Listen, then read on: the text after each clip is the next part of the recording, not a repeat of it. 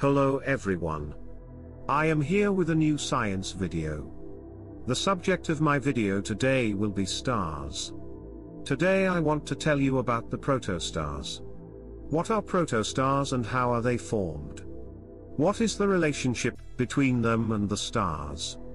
I will answer each of these questions one by one. As always, a fun and informative video awaits you. Get ready, here we go.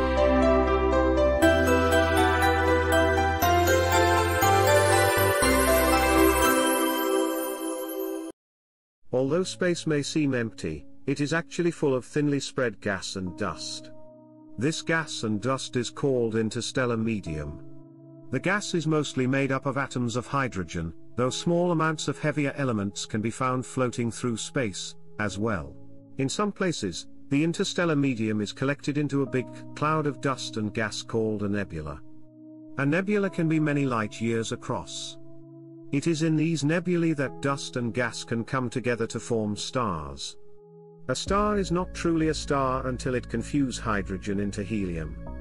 Before that, they are called protostars. A protostar looks like a star but its core is not yet hot enough for fusion to take place.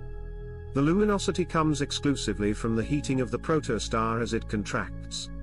Protostars are usually surrounded by dust, which blocks the light that they emit, so they are difficult to observe in the visible spectrum. A protostar is formed as gravity begins to pull the gases together into a ball. This process is known as accretion. As gravity pulls the gases closer to the center of the ball, gravitational energy begins to heat them, causing the gases to emit radiation. At first, the radiation simply escapes into space.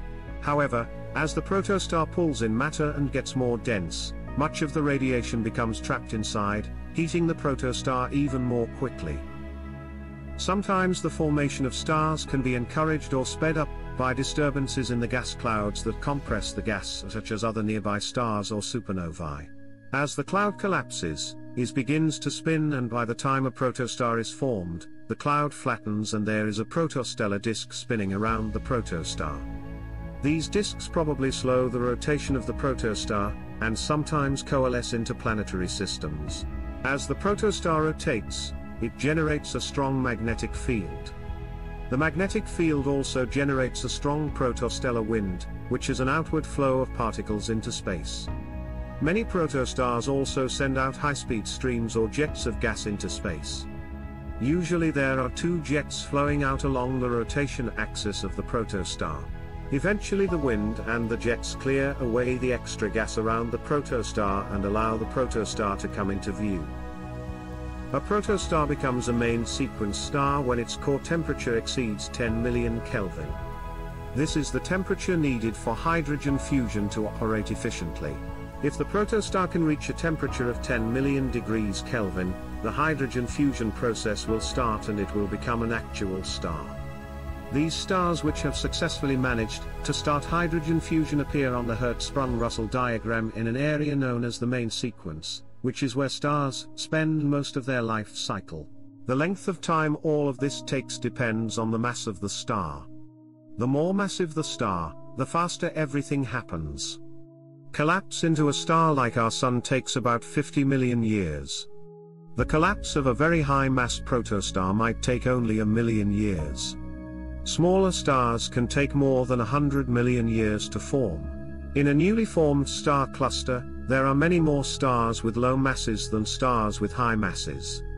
For every star with a mass between 10 and 100 solar masses, there are typically 10 stars with masses between 2 and 10 solar masses, 50 stars with masses between 0.5 and 2 solar masses, and a few hundred stars with less than 0.5 solar masses.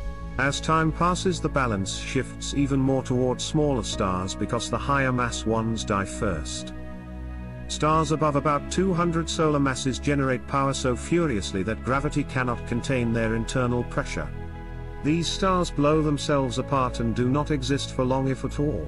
A protostar with less than 0.08 solar masses never reaches the 10 million Kelvin temperature needed for efficient hydrogen fusion. These result in failed stars called brown dwarfs which radiate mainly in the infrared and look deep red in color. They are very dim and difficult to detect, but there might be many of them, and in fact they might outnumber other stars in the universe. Brown dwarfs are generally smaller than our Sun, but larger than the planet Jupiter. Even though they aren't considered real stars, they continue to shine dimly for millions of years as they cool down. Deuterium burning. Even though protostars can't fuse normal hydrogen atoms, they can fuse deuterium. Deuterium is a rare form of hydrogen that has both a proton and a neutron in its nucleus. Deuterium is much easier to fuse than normal hydrogen, so both protostars and some brown dwarfs are able to fuse it into helium.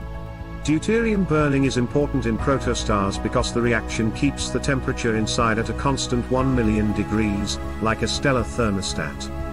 Since normal hydrogen fusion doesn't occur until 10 million degrees, it will remain a protostar longer, accreting more matter and becoming a more massive star. Thank you for watching the video. See you in the next science video. Don't forget to like the video and write your thoughts in the comments section. I'd appreciate it if you'd subscribe to my channel.